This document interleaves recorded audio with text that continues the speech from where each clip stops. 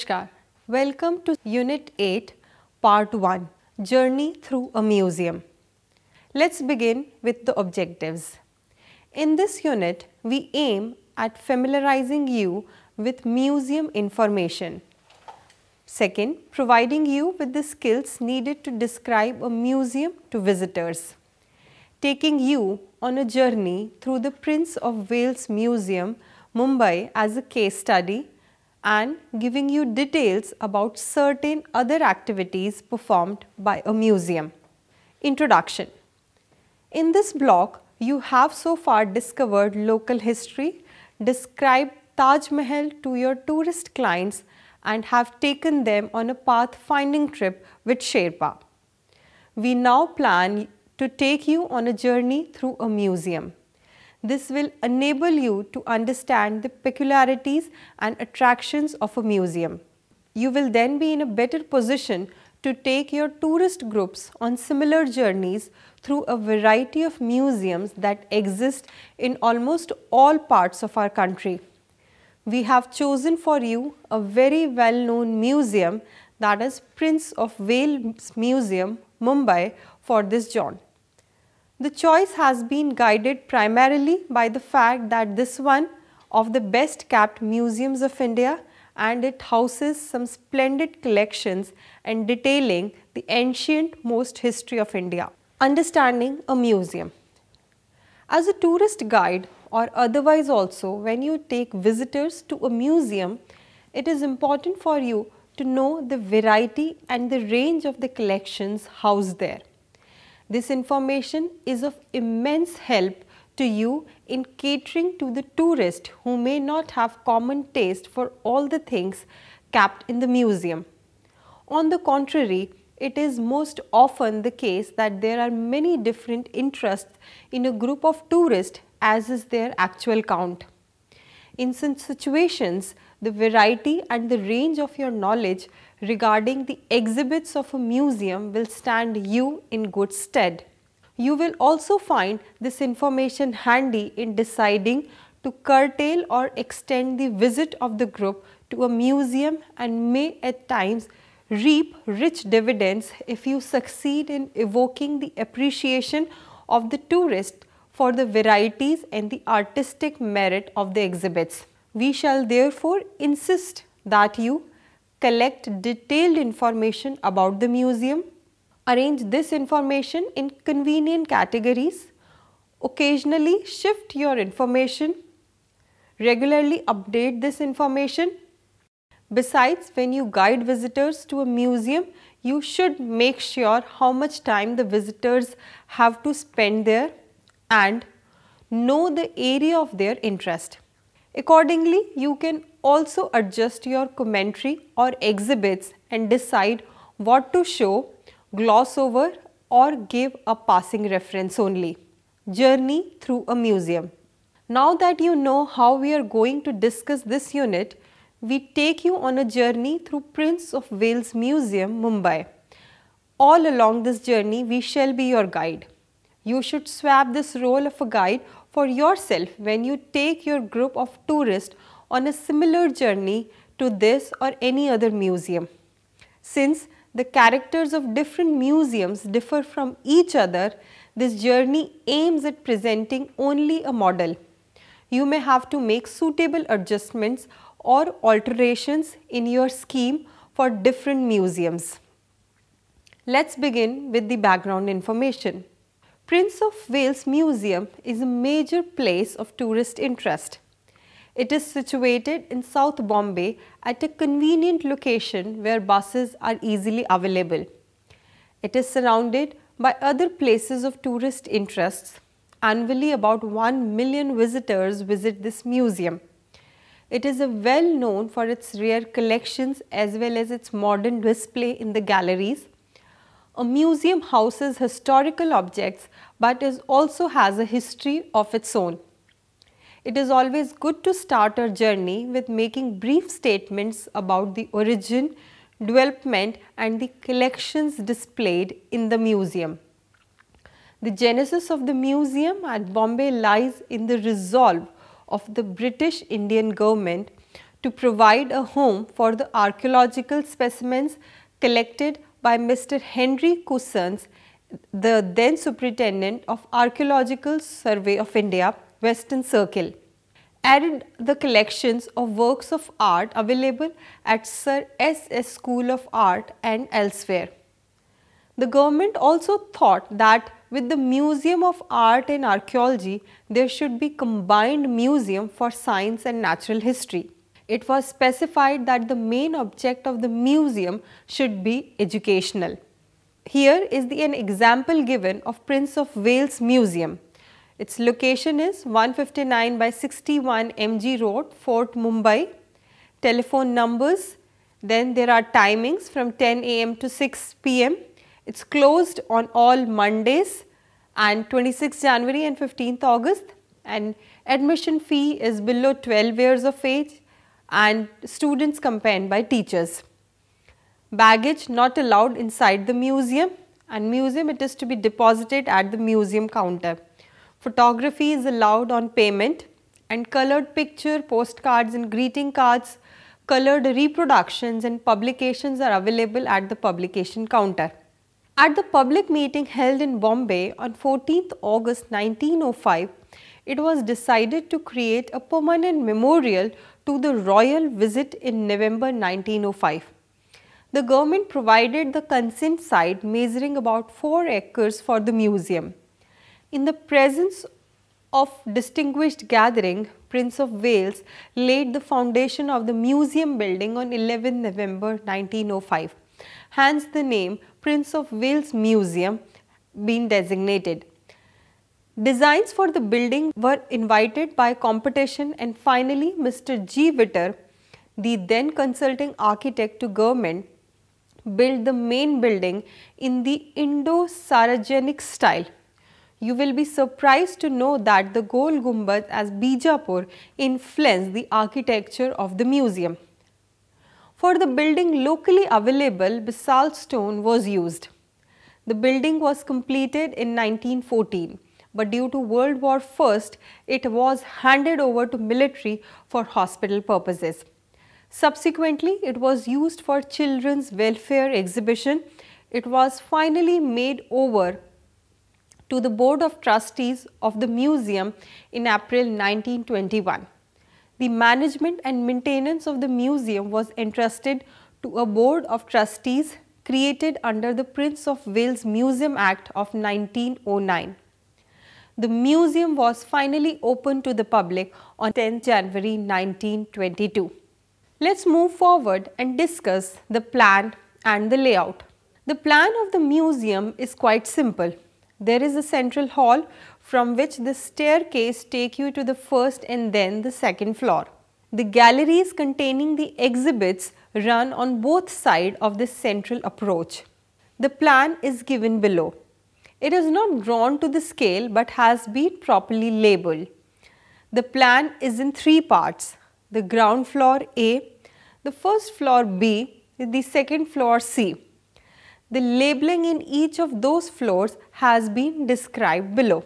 Ground floor, it has reception and publication counter, Coomaraswamy Hall, key gallery, toilets, Assyrian palace reliefs, pre and proto history, stone sculptures, water coolers, birds, mammals and reptiles and fishes. On first floor, main administrative office, Indian miniature paintings, decorative arts, Indian bronzes, research library, Nepal and Tibetan art, maritime heritage of India. On second floor, Indian arms, European decorative arts, European paintings, Indian textile, Far Eastern art.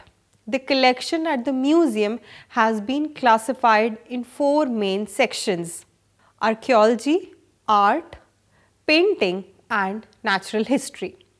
The central hall on the ground floor as you enter the museum has been converted into the key gallery.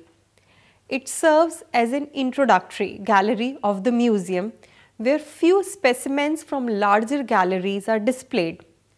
The showcases contain the miniature paintings, Indian jade work, weapons and objects of decorative arts, Chinese and Japanese exhibits, ivory work, woodwork, Akhnoor terra sets, colored tiles, stone sculptures, terracottas from Mohenjo-daro and of historical period, Indian bronzes, Mirpur Khas terracottas. By walking around Key Gallery, you experience 5 millenniums of Indian art in one capsule. This much basic information acquaints you somewhat with the museum. You now know which part to skip or show as per the interest of the visitor if time is short. You may now come with us on a trip to its various sections housing priceless exhibits from the remotest part of India to its current cultural scene. The first one is the archaeological section. Well, in this section, are on display the most ancient exhibits, pre and proto-historic exhibits. The Indian Paleolithic specimens are from Khurda and Bellary districts. Other tools were presented by the Deccan College Postgraduate Research Institute, Pune. The Middle Stone Age tools and some fossils were also presented by the Deccan College. The Neolithics which comprises celts and hammer stones are from Amravati and Perumber. There are also implements from Banda. These were presented by the UP State Museum, Lucknow. The antiquities of Indus Valley culture are from Rangpur, Najungdara, Kot Pitch and Hisbani. The antiquities include plain and painted pottery, beads and bangles, seals and sealings, tools and toys, mother goddesses, fish hooks, shell spoons, saddle querns and muller, grains, weights, bricks, storage jars and stone objects. The diorama depicts of the great bath and town planning of Mohenjo-daro. The Chalcolithic phase in Maharashtra is shown by models of pottery, baking kiln and burial pottery. The finds are from Jorwe, Nasik, Nevasa and Inamgaon. The antiquities from the Iron Age are from Adichanallur and Perumber. They include iron implements, pottery bowls and burial urns. One end of the gallery displays unique Assyrian palace reliefs from Nimrod, a slab from Persepolis and two fragments from Egypt. Now, let us study stone sculptures. The most important example are from Pitalkhora, Elephanta and Aihole. The museum has varied collection of Gandhara sculptures depicting the Jataka stories and some decorative designs. The stucco examples includes heads and figures of Buddha, Bodhisattvas, donors and musicians. The Siva Gana from Koa and another loin-faced Gana from Madhya Pradesh show the Gupta idiom at its best. The figures of the Buddha from Mirpur Khas show transformation from the Gandhara to Gupta idiom, while the figures of the donor and Kubera show well developed Gupta types. A major part of the sculpture in the museum is medieval, drawn from almost all parts of India. The 8th century bas relief from Aihole depicting Brahma seated on lotus points, a landmark in early Chalukya sculpture and another Brahma image form Elephanta exudes strength of purpose.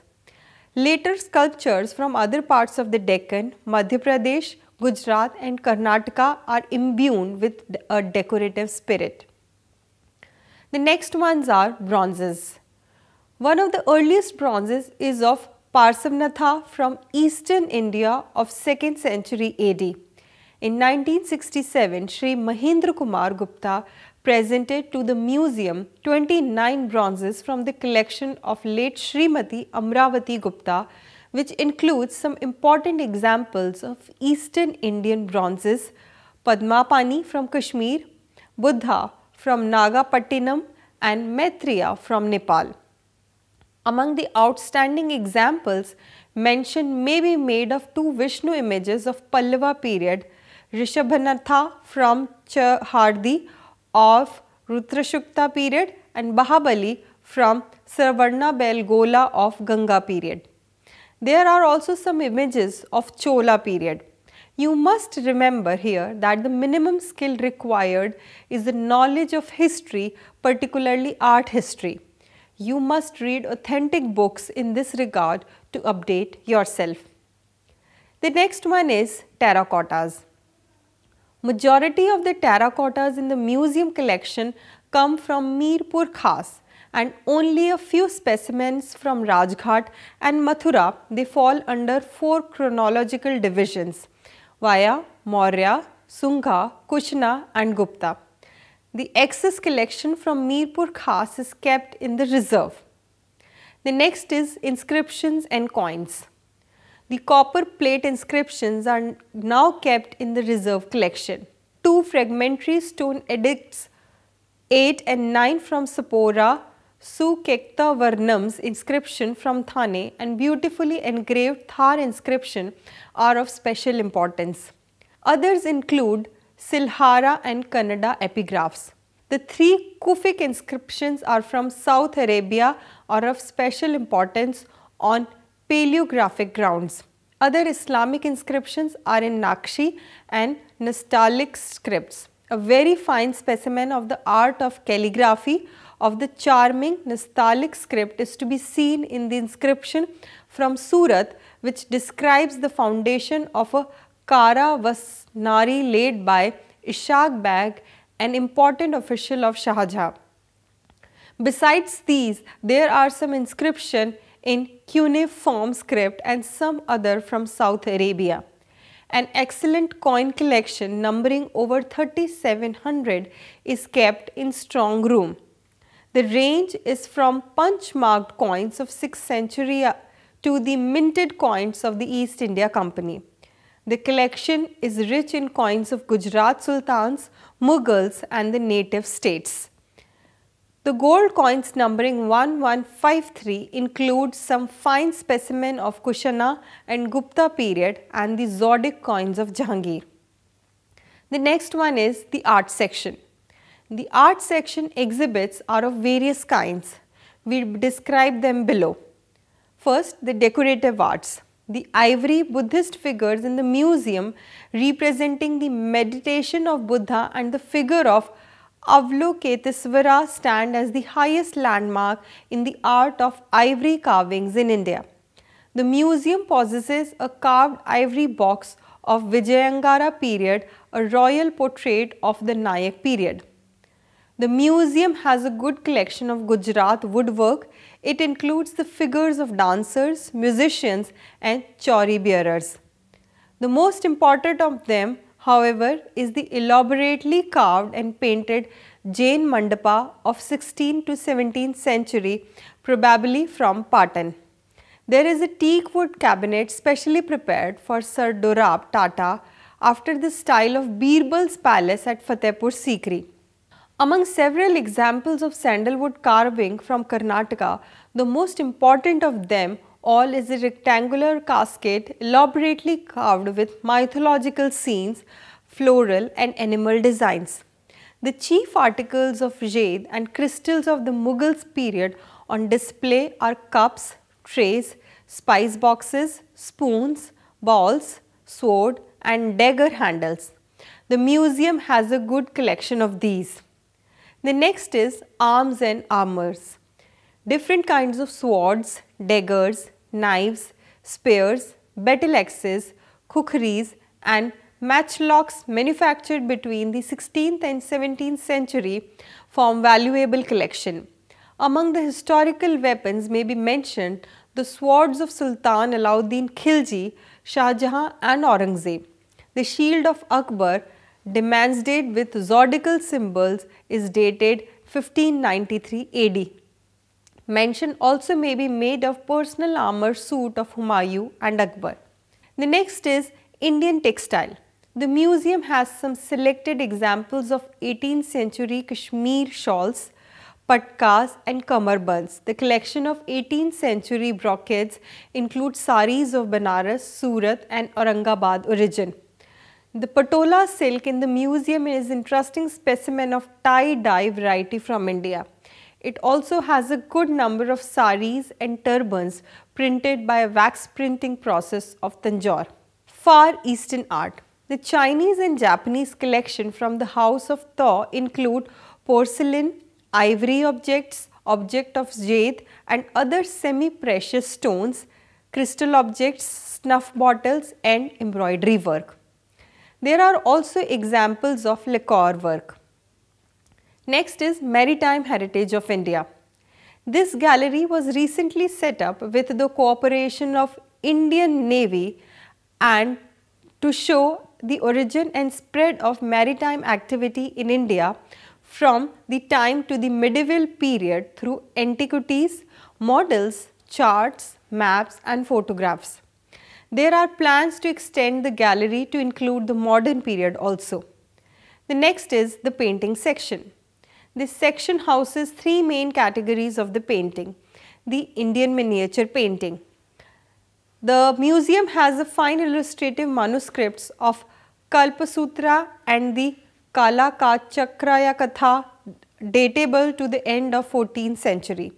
The Laur Chanda painting show the Sultanate idiom at its best. The Gita Govinda paintings in the same style show more developed form.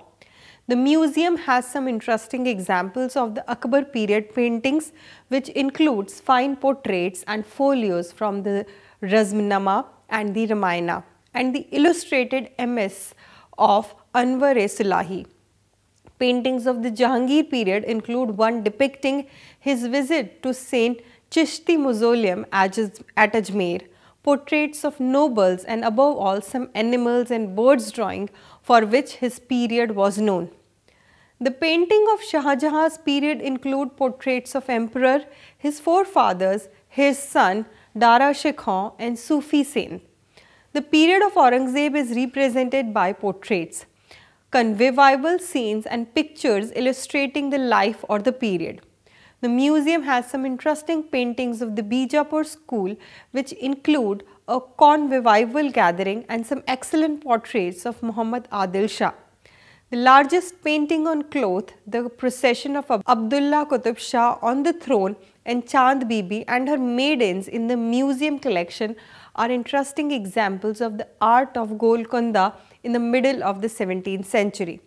The later phase of Golconda school is represented by Ragmala sets, portraits and drinking scenes. The collection of the Rajasthani painting in the museum is both rich and varied. One may enjoy in the gallery the rich color of the Mewar and Marwar schools, the dramatic landscapes of Bundi and the lyricism of Kishangarh school. The museum has some interesting early Basohli paintings depicting some rurals, rulers. A number of paintings of Jammu schools depict Raja Balwant Singh engaged in various occupation. Second, modern paintings. Important additions have been made to the paintings in the art section since 1923 by the acquisition of paintings by Indian Arts of the Bengal, Bombay and other Indian schools and by a number of prints depicting old Bombay presented by Mr. F. V. Evans. Next is the western paintings. The two large halls on the second floor of the museum are used for the displaying western paintings. These were received from the house of Tatas. Some of the important paintings of well-known artists are mentioned below. The Muses on Mount Helicon, Nicolas Poussin, French School, the greatest master of the classical French school, the Sword of Damocles, large size impressive painting, Portrait of Four Women, after Rembrandt French School, Venus and Adonis, Carlo Melati Roman School, Shepherdess and Sheep, Troyon French School, The Cleaner Jean Philip British School, Portrait of a Lady G. Romney British School. Next is the natural history section. This action established under the terrace of agreement arrived between Bombay Natural History Society and the trustees of Prince of Wales Museum in 1923. Deputation of Mr. S. H. Prater, curator of the museums in England, America and the continent in 1922 and 26 was of great use in the successful establishment of educational services and methods of display in the gallery by introducing dioramas. Even the internationally famous ornithologists Mr. Salim Ali served as curator for a short duration. The section consists of Bombay Natural History Society's interesting collections of birds, mammals, reptiles, amphibians, fish and invertebrates. Bird Gallery. This gallery shows a variety of birds from all over India. An endeavor is being made to show a series of group cases illustrating the nesting habits of Indian birds.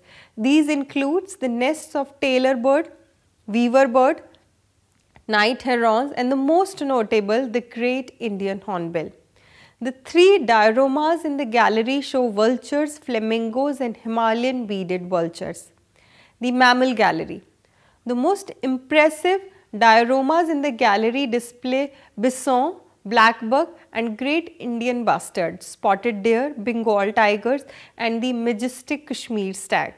Some of the animals which died in Bombay Zoo such as rhino and white tiger have been also displayed in this gallery reptiles, amphibians and fishes. The exhibits in the gallery includes crocodiles, common Indian lizards, group of water monitors, snakes, bristle viper with young ones, cobra nesting in an anthill, sea snakes in a coral reef showing adaptation of snakes to an aquatic life, checkered water snake showing color variation in the snake, green whip snake and green pit viper showing color resemblance in snakes, frogs, freshwater fishes, giant perch caught in Bombay harbour. The dioramas show Malayan python, sharks and turtles laying eggs. Invertebrates, a series of student cases intended as an introduction to the study of insects show the models of housefly, mosquitoes, bedbug and head louse. Exhibits illustrate how diseases are spread by insects and how they may be prevented. Classification and distribution of Indian insects are also shown. Indian marine and land shells are also on the display.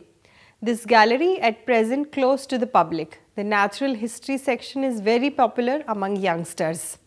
Next we will proceed to the educational activities. The museum with such enormous and varied collection as you have just now seen during your journey through the galleries of the Prince of Wales Museum, Bombay serve as ideal places for carrying out educational activities. We give you below details relating to the museum at Bombay. You might benefit from the information in case some or more members of the tourist group you take around gallery show interest in such activities. Children's Creative Center in the museum premises is used for children's activity. Educational officer of the museum invites school children accompanied by their teacher and delivers slide lecture and later they are taken around the museum galleries. During summer and winter vacation classes are arranged to teach children clay modeling, painting and paper crafts. Next is exhibitions. Museum periodically holds exhibition on different themes. It has also participated in festivals of India abroad by holding exhibitions in Sweden, uh, Sweden, Japan and Mauritius.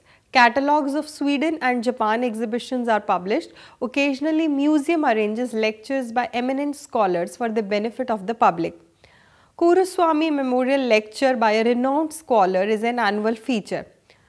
Coomaraswamy Hall is used for holding exhibitions and lecture. It is also given on hire to outside parties for sale exhibitions on rental basis.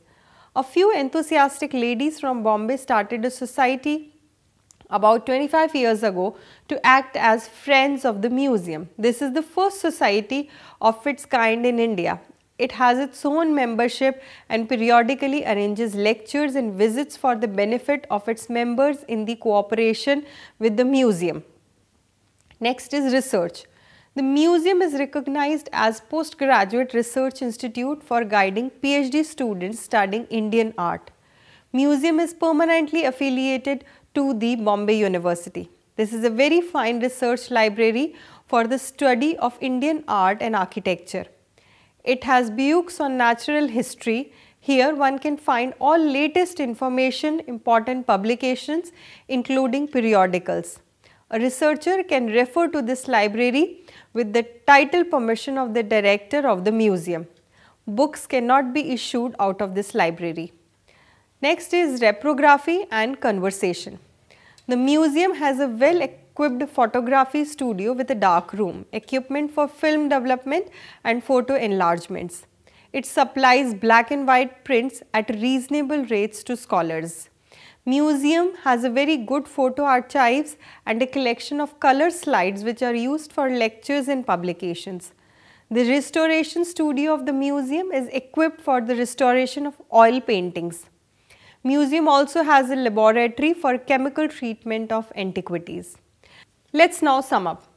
Undoubtedly, Prince of Wales Museum is an important museum out of nearly 400 museums in our country. It is very popular with foreign and domestic visitors who visit it in large numbers. The museum houses some rare exhibits which are not to be seen elsewhere. The display using proper color scheme, lighting and labeling is adequate and pleasing to the eye. Cleanliness is maintained inside the showcases and outside as well. On the whole, this is a well maintained museum which makes many visitors to visit it more than once. The educational activities for the primary and secondary school level and also for college students are comprehensive. Guidance is given to the postgraduate students in their chosen subjects for doctoral studies. We hope that you have got sufficient clues as to how to show and explain the museum. You can apply this museums in your areas. In the next presentation, we will study more about the next museum. Thank you for viewing.